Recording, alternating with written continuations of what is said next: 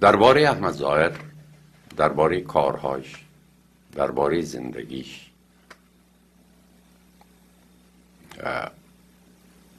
اگر من بگویم که بسیار گفته شده بسیار گفته ها گفته شده این هرگز مانایشی نیست که از ظرفیتی که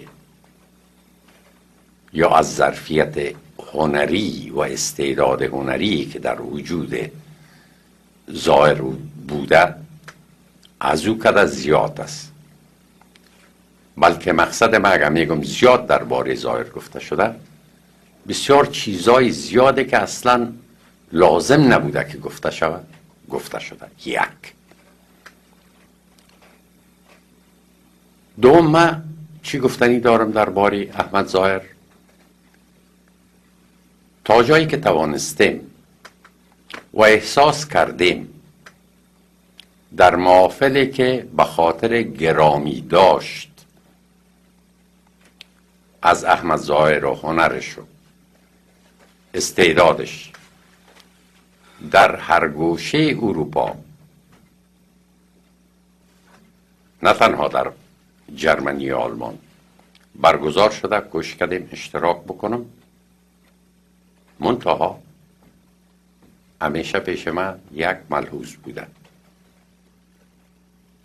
که محفلی که گفتم بار گران نام هنرمند ممتاز ما ستاره آسمان موسیقی ما احمد زاهره به دوش می‌کشه جنبه تجارتی نداشته باشه از احمد ظاهر بعد از مرگش یا به شهادت رسیدنش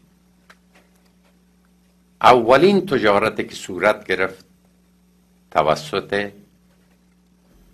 دستگاه دولتی افغانستان افغان موزیک بود. در همین شب و روز یا از یک ماه دو ماه به این طرف.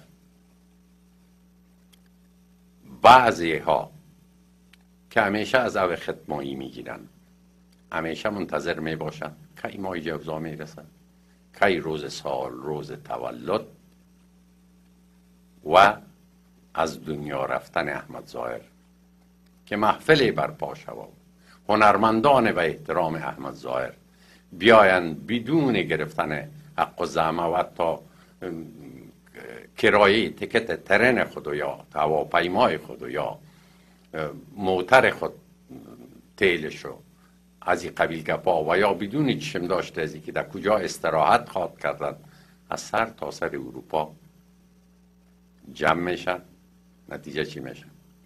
نام احمد ظاهر است. ولی از روز که احمد ظاهر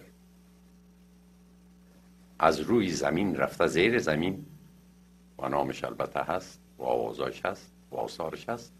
از امو روز از دولت افغانستان که شروع کرد به فروش تمام آثارش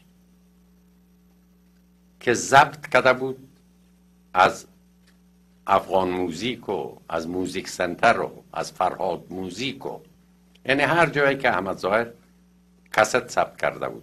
آثارشان بعد از اینکه جمهوری دموکراتیک خلق افغانستان یا قدرت سیاسی را حزب دموکراتیک خلق افغانستان به دست گرفت این دستگاه خصوصی به حساب ای که بعد از این نظام سوسیالیستی است یک کشور و دولت باید تمام بزنس ها و تجارت ها و این مسائل اداره بکنه.